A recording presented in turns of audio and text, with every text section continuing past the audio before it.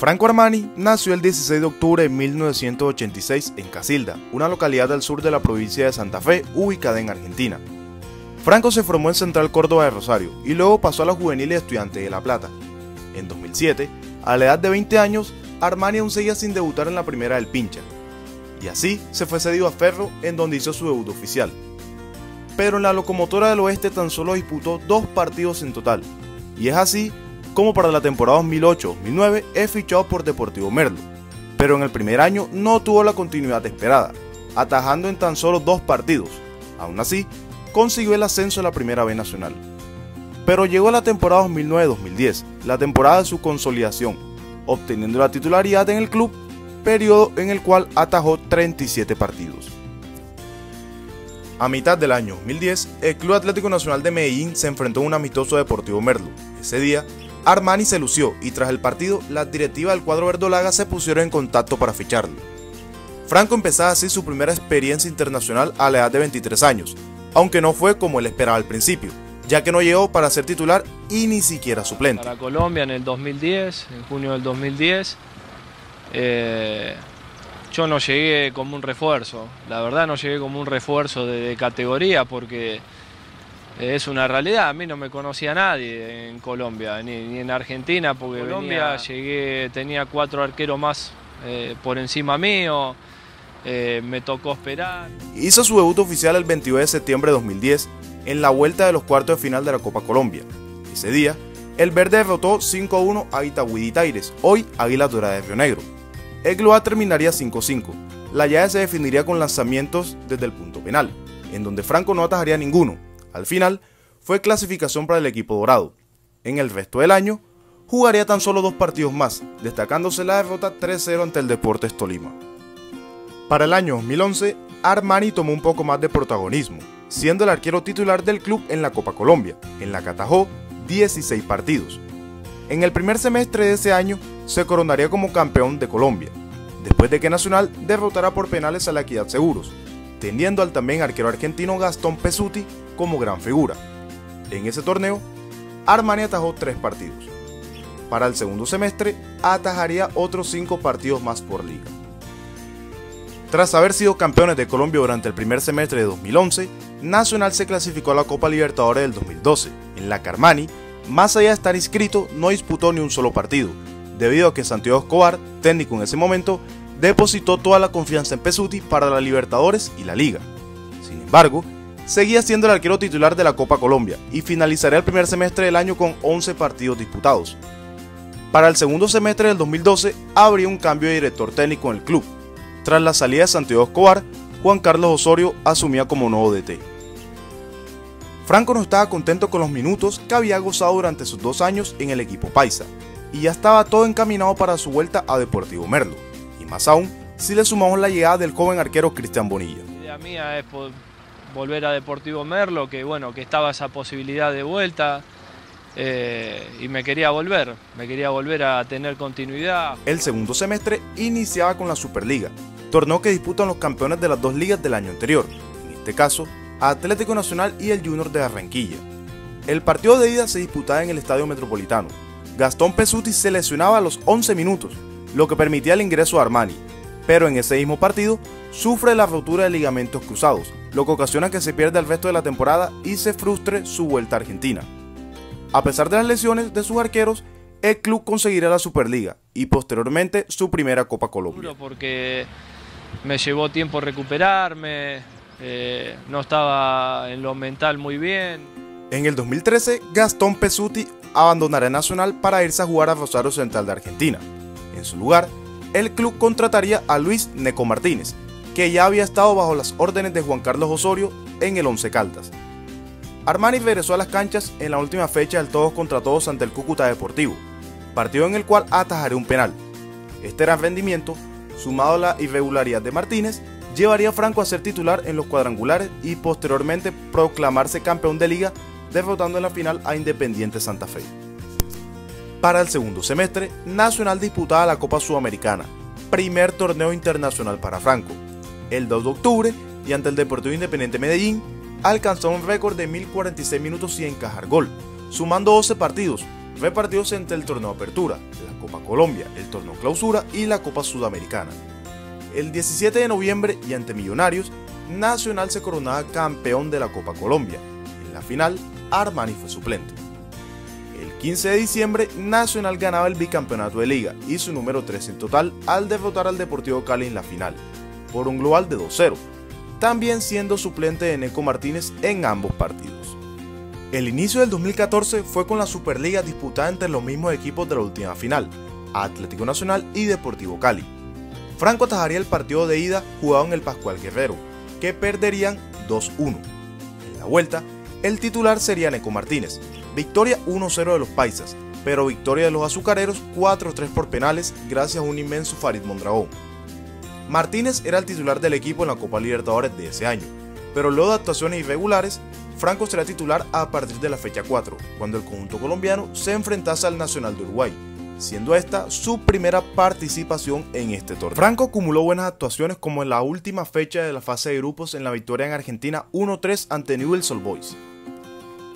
Gracias a la victoria en territorio argentino, el verde se clasificaba a los octavos de final en donde enfrentaría al campeón defensor, Atlético Mineiro de Ronaldinho. Armani fue fundamental, sobre todo en la vuelta. Al final, fue victoria del equipo paisa 2-1 en el global. En los cuartos, lo esperaría el sorprendente defensor Sporting de Uruguay, que los eliminaría con un global de 3-0. Simultáneamente, Nacional estaba en semis de la Liga Colombiana, en donde eliminarían a Santa Fe y los esperaría Junior en la final. El 21 de mayo, Nacional se coronaría como tricampeón del fútbol colombiano, conquistando su decimocuarta liga ante el Junior de Barranquilla, tras superarlo en penales 4-2, con un Armani inspiradísimo, atajando dos en la tanda. El 16 de octubre de ese año, por los octavos de final vuelta de la Copa Sudamericana ante el Vitoria de Brasil, Franco jugaba su partido número 100 en la institución. En los cuartos de final superarían a Universidad César Vallejo de Perú y en semis les tocaba ante el gigante Sao Paulo. Tras la victoria 1-0 en la ida disputada en Medellín y la derrota por el mismo marcador en el estadio Morumbí, todo se definía desde el punto penal, con un Armani Salvador atajando dos penales y dándole el paso a la final continental al conjunto verdolaga. En la final lo esperaba el River Plate de un recién llegado Marcelo Gallardo. La ida jugada en Medellín terminaría 1-1. Armani no pudo hacer nada ante el golazo millonario, obra de Leonardo Pisculici. La vuelta disputada en el Estadio Monumental tuvo a un gran Franco Armani, hasta que la banda cruzada en el segundo tiempo se puso adelante por medio de dos goles similares. Tiros de esquina y primero Mercado y luego Pesela ponía el definitivo 2-0, dejando al verde a las puertas de la gloria continental. El primer semestre del 2015 no fue el mejor ni para Armani ni para Nacional en general. En la liga ingresaron los cuadrangulares como sextos y fueron eliminados por el Deportivo Cali, que posteriormente fue el campeón.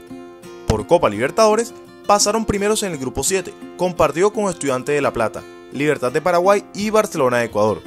Pero en octavos de final caería eliminado ante el Emelec de Ecuador. En el segundo semestre otra vez gritaría campeón, al ganarle nuevamente al Junior de Barranquilla la final, y otra vez atajando dos penales en la tanda, el verde conseguía su estrella número 15. Lo especial de este título fue que en las semifinales eliminaron a su rival de toda la vida, al Deportivo Independiente Medellín. Inició el 2016, uno de los mejores años en la carrera deportiva del arquero ex Deportivo Merlo. Nacional iniciaba el año siendo campeón, tras aplastar en la Superliga al Deportivo Cali con un global de 5-0. En el ámbito internacional, el Verdolaga hace una fase de grupos de Copa Libertadores casi perfecta, ganando 5 y empatando 1, pasando primero el grupo 4, que compartía con Huracán de Argentina, Peñarol de Uruguay y Sporting Cristal de Perú. En octavos de final, su rival sería nuevamente Huracán de Argentina, y tras un empate a cero en Buenos Aires, Nacional sacaría la vuelta adelante con un 4-2 y clasificación a cuartos de final. Llegaron los cuartos de final, otro argentino en el camino, esta vez el Rosario Central de Eduardo El Chacho Coudet.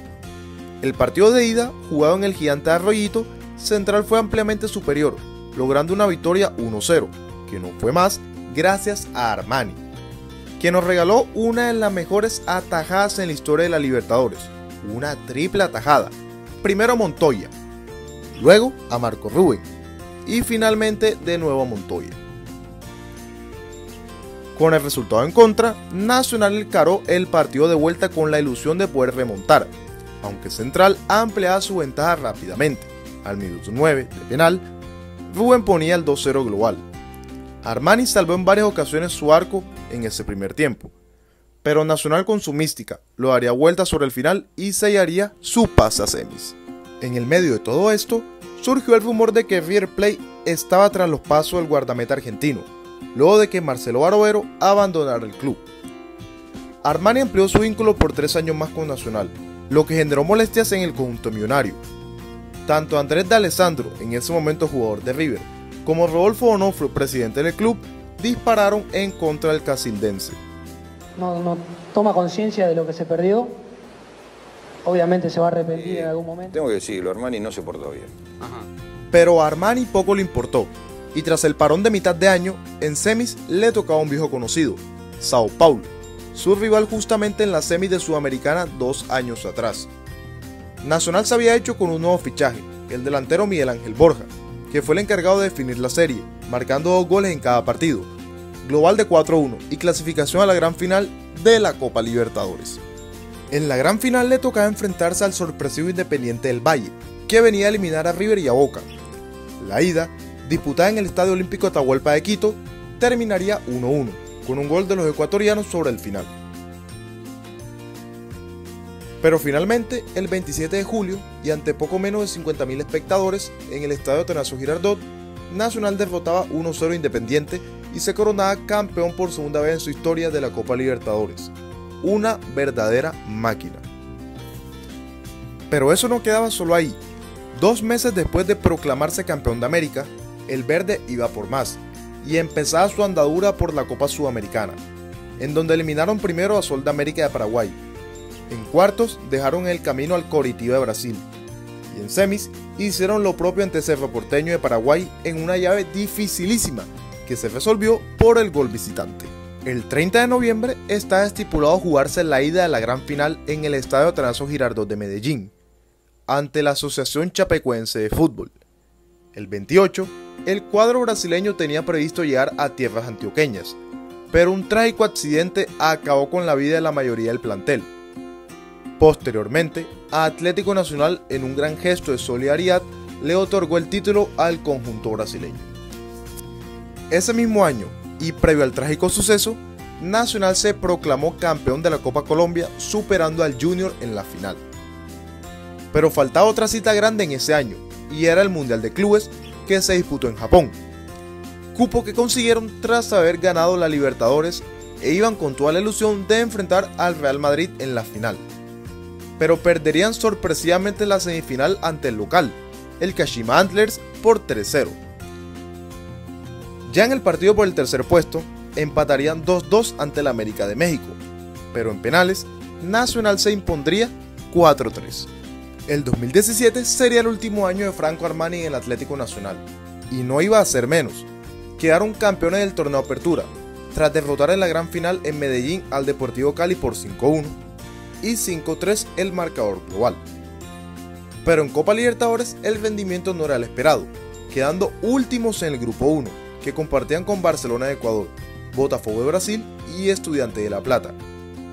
Mientras, Nacional enfrentaba a un reconstruido chapecuense por la Recopa Sudamericana, y tras perder la ida 2-1, Nacional superaría ampliamente al cuadro brasileño 4-1 en la vuelta, consiguiendo un nuevo título continental. Por su parte, se especulaba con la posibilidad de la nacionalización de Armani para jugar con la selección Colombia el Mundial de Rusia 2018. El segundo semestre, con la llegada del español Juan Manuel Lillo, Nacional se clasificaba a los cuadrangulares, pero caería en cuartos de final ante el Deportes Tolima por penales. Ese día, el 2 de diciembre de 2017, Armani jugaba su último partido con Atlético Nacional. El 3 de enero se hacía oficial la venta de Franco Armani a River Plate y el 5 se veía en el Estadio Tenazo Girardot una de las despedidas más grandes y emotivas de la historia. Franco abandonó Nacional después de 7 años y medio, en lo que disputó 249 partidos y conquistó 13 títulos, convirtiéndolo en el más ganador de la historia del club. En River, conquistó la Supercopa Argentina y la Copa Libertadores de 2018 ante Boca, además de jugar el Mundial Rusia 2018, pero con su selección argentina. En el 2019, consiguió la Recopa Sudamericana y la Copa Argentina, además de llegar a la final de la Copa Libertadores. ¿Quién lo diría? Armani se convirtió en pieza fundamental del equipo millonario. Un arquero de jerarquía, de los mejores que ha pasado por nuestro fútbol. Prometió volver y retirarse en el que se convirtió en el club de sus amores, Atlético Nacional. Así que en unos años lo veremos de nuevo deleitarnos con sus atajadas imposibles en nuestro balompié.